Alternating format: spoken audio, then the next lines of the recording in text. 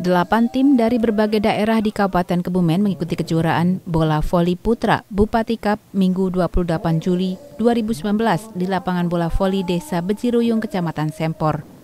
Kedelapan tim tersebut antara lain Gopas Gombong, Fiesta 69, CVC Kebumen, AVC Adi Mulyo, PPI Pejagoan, Ivos Mirit, Tawas Ruang, serta Banjarwinangun. Menurut Ketua Panitia, Freddy Suryo, kejuaraan yang menggunakan sistem gugur tersebut hanya berlangsung selama satu hari. Kegiatan dimulai dari pagi hingga babak final yang kemungkinan akan berlangsung pada petang hari yang memperebutkan trofi serta uang pembinaan.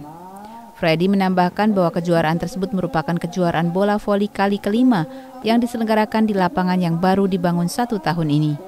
Dengan diadakannya kejuaraan ini, diharapkan mampu membudayakan hidup sehat serta mampu meningkatkan kecintaan generasi muda Bejiruyung dan sekitarnya terhadap olahraga tersebut. Dari Kecamatan Sempor, Tim Liputan Rati TV memberitakan. Sudah lakukan, iya.